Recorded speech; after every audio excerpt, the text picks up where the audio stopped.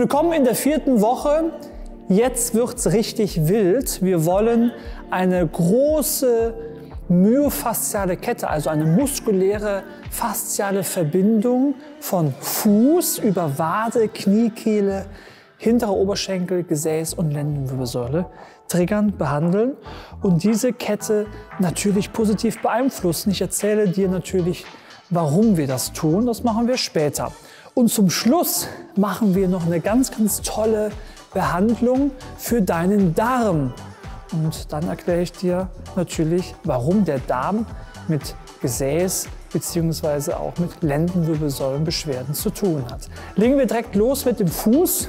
Und da haben wir einen ganz speziellen Punkt und den müssen wir triggern, weil da herrscht unfassbar viel Spannung. Kathi legt mal ihren Fuß auf mein Bein und hier haben wir den knöchernen Fersenblock und vor der Ferse haben wir hier einen wichtigen Punkt.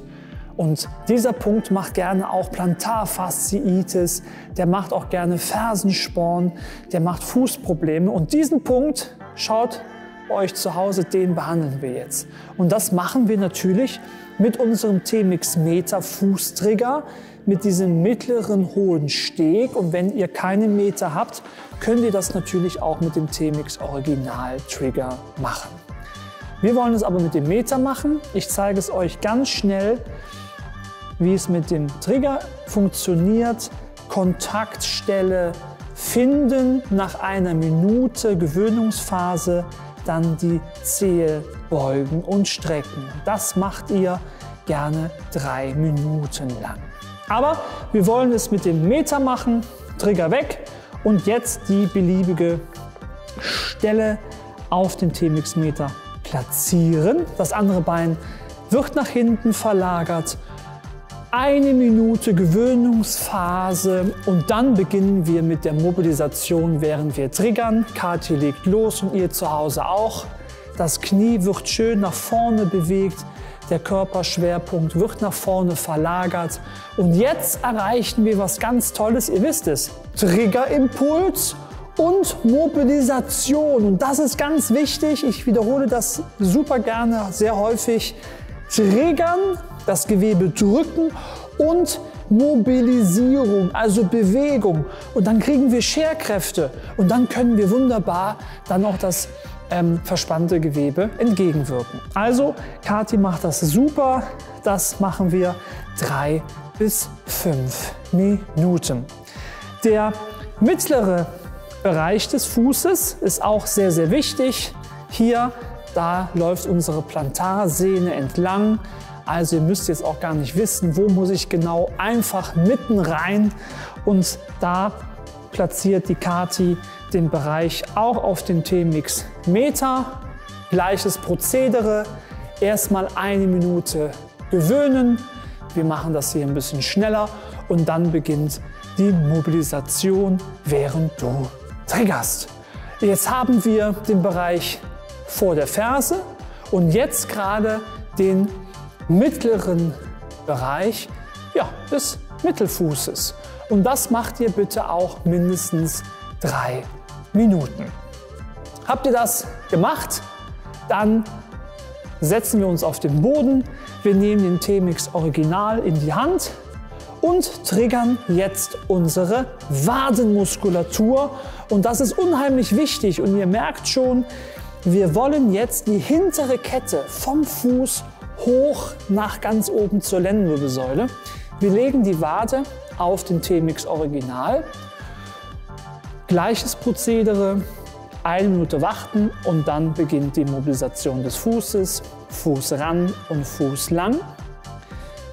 Der Wadenmuskel ist groß. Wir können natürlich auch oberhalb oder unterhalb die Wade komplett triggern. Schau bitte, dieser Muskel ist groß und hier gibt es natürlich viele unterschiedliche ja, Knotenpunkte, Triggerpunkte, Festigkeiten. Screen die Wade ab und dort, wo du fühlst, oh, da muss ich ran, da ist es fest, dann behandelst auch du diesen Bereich an der Wade. Immer dran denken, pro Punkt drei bis fünf Minuten. Erst triggern 30 Sekunden, dann mobilisieren, während du triggerst 30 Sekunden und das im Wechsel so häufig in einem Zeitfenster von drei bis fünf Minuten. Wir gehen hoch Richtung Knie, Kehle. Der T-Mix Original wird hoch versetzt in Richtung Kniekehle. Das ist auch ganz wichtig und hilft uns auch bei Gesäß- oder auch Lendenwirbelsäulenbeschwerden.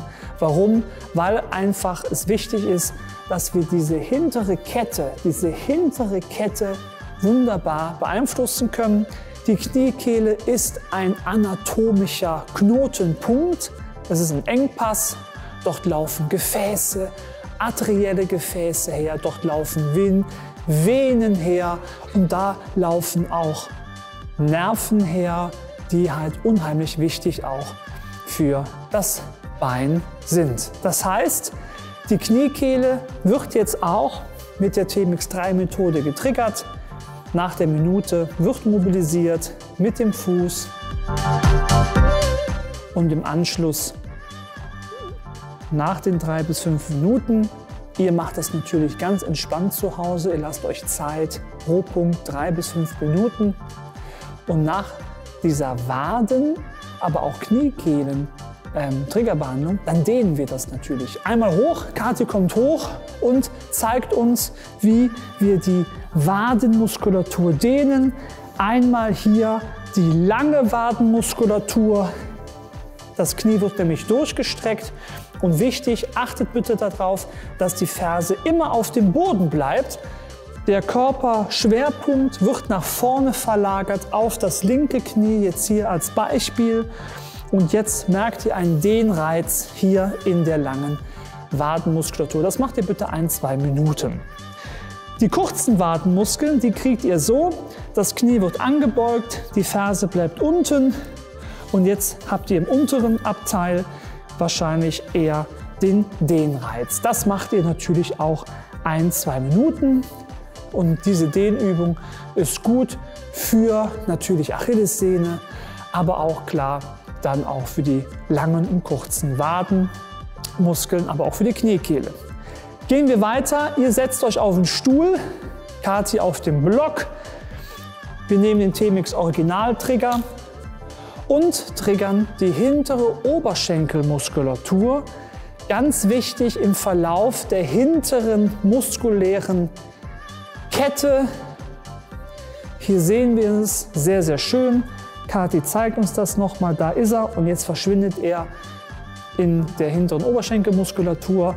Auch hier eine Minute gewöhnen und dann Knie strecken und beugen. Das könnt ihr wunderbar auf der Arbeit machen, aber auch zu Hause am Esstisch oder auf einer Treppenstufe. Da gibt es viele Möglichkeiten. Der Oberschenkel, der hintere Oberschenkel ist groß. Wir haben viele Möglichkeiten, auch hier wie bei der Wade ähnlich, dann mehrere Verspannungsregionen auffindig zu machen. Und die müsst ihr bitte dann auch jeweils mit drei bis fünf Minuten bearbeiten. Einmal hoch und die hintere Oberschenkelmuskulatur muss natürlich gedehnt werden und das machen wir gerne auch so, die Karte zeigt das, Oberkörper nach vorne, idealerweise das Knie durchstrecken, Fuß ranziehen und dann werdet ihr hinten eine, einen Dehnreiz verspüren. Das ist wichtig. Hier können wir aber auch ein bisschen tricksen.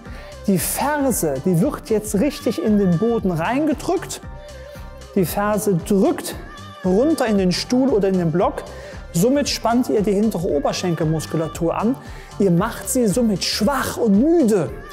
Das macht ihr 10 Sekunden, lasst los und dann könnt ihr weiter in die Dehnung reingehen.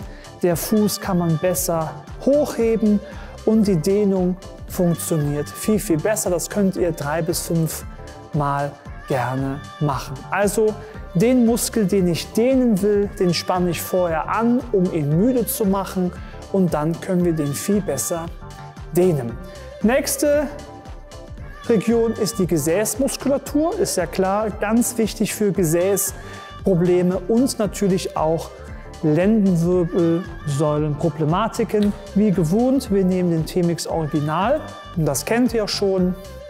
Kati zeigt es natürlich nochmal schnell. Die Übung kennt ihr sehr, sehr gut. Ihr sucht euren individuellen Schmerzpunkt in der Gesäßgegend und nach einer Minute Gewöhnungsphase triggert ihr euer Gesäß. Dann beginnt ihr mit der Mobilisation und das Ganze bitte im Wechsel triggern und triggern, während ihr mobilisiert, zwischen drei und fünf Minuten.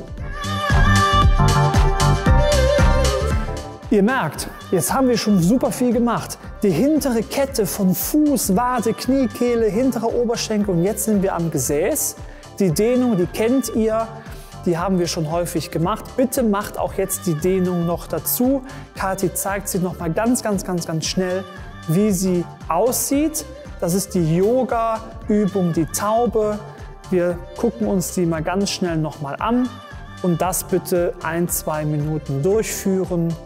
Und das ist dann wirklich ideal für die hintere Kette. Zum Abschluss setzen wir uns nochmal hin und triggern mit dem T-Mix Para unsere Lendenwirbelsäule. Und das ist ganz, ganz wichtig, dass wir hier schauen, dass wir die Lendenwirbelsäule schön von oben bis unten abtriggern. Kathi nimmt gerne den Para und legt sich auf den T-Mix Para Rückentrigger drauf. Das kennt ihr. Auch hier wieder die T-Mix 3 Methode. Beine aufstellen, dann bekommt ihr einen höheren Druck. Wenn das zu viel ist, die Beine flach auf dem Boden, dann ist der Druck ein wenig weniger. Die Mobilisation mit aufgestellten Beinen Knie langsam nach links und rechts mobilisieren. Und jetzt haben wir wieder den Effekt, gerade wichtig für die Lendenwirbelsäule, dass wir diese Spannungen aus der Lendenwirbelsäule rauskriegen. Bei Schmerzen in der LWS, bei Gesäßproblematiken ist es unabdingbar, die Lendenwirbelsäule richtig zu behandeln. Wir müssen die Spannung da rauskriegen und deswegen ist es ideal, dass wir mit dem Triggern schön tief in das Gewebe kommen und dort ja, aufräumen können. Und das könnt ihr wirklich schön machen, hoch und runter entlang der Lendenwirbelsäule. Wenn ihr keinen Paare habt, natürlich auch mit dem T-Mix Original Träger möglich. Was für eine Kette von Fuß bis Lendenwirbelsäule. Jetzt habe ich euch versprochen, zum Schluss bekommt ihr noch eine richtig schöne Übung. Den Trigger bitte einmal raus und auf dem Rücken liegen bleiben zu Hause. Und jetzt greift die Kati mit beiden Händen schön üppig genau oberhalb des Schambeines, üppig den kompletten Unterbauch-Darmbereich. Wir wollen ganz viel Darm haben.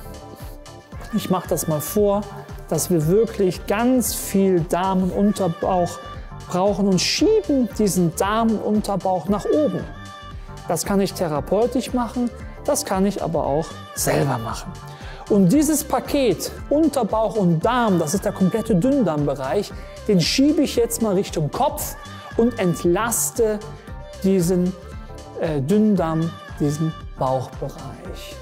Und das haltet ihr gerne ein, zwei Minuten, atmet tief ein und aus. Spürt mal nach und diese ganzen Spannungen im unteren Bauch können wir durch diese Technik hier entlasten und entgegenwirken. Der Darm ist innen drin faszial mit der Lendenwirbelsäulenmuskulatur verbunden. Das ist tatsächlich so. Und wenn der Darm ein bisschen rumort, wir Darmprobleme haben, Bauchschmerzen, vielleicht auch eine kleine Darmerkrankung haben. Das kann ja sein. Das ist in Deutschland nicht unüblich, dass Magen-Darm-Problematiken wegen Stress sehr, sehr häufig in Deutschland vorkommen. Und das mal Rückenschmerzen, aber auch gerne dann auch in Richtung Beckenausstrahlungen verursachen. Und wenn ihr jetzt diese schöne Übung den Darm nehmt und den entlastet, ja, schön nach oben entlasten und dann können wir diese Spannungsverhältnisse zwischen Darm, fasziale Darmkultur, also der Darm, diese Darmaufhängung und Rückenmuskulatur, Beckenmuskulatur können wir dort entlasten. Das ist positiv fürs Becken und für die Lendenwirbelsäule. Jetzt haben wir super vieles gelernt und die Woche ist voll mit Übungen und einer schönen Darmtechnik. Gibt Gas, viel Erfolg und es wird bestimmt schon viel, viel besser.